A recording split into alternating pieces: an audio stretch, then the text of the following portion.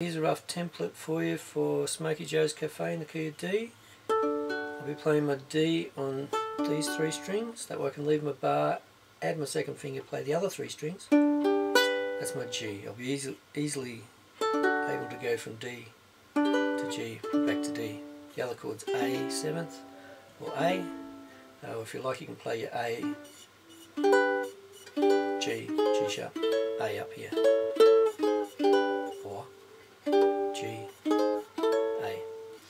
Alright, here we go.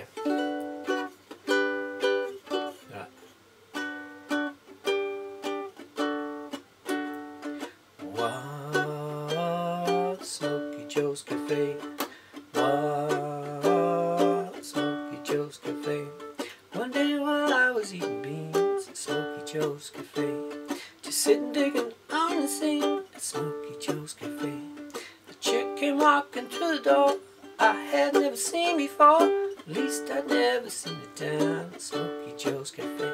I started shaking when she sat right down next to me. The chill was running down my spine. Her knees were almost touching mine.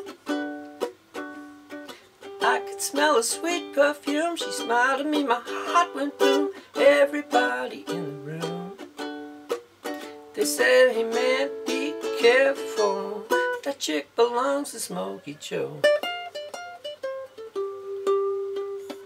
From behind the counter, I saw a man.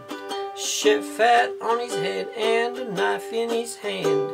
He grabbed me by the collar and began to shout, You better eat up all your beans, boy, and clear right on out.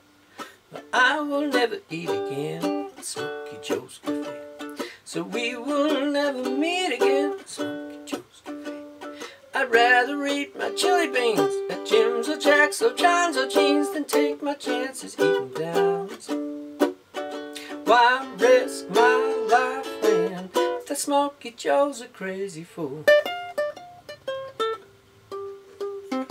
Why Smokey Joe's Cafe?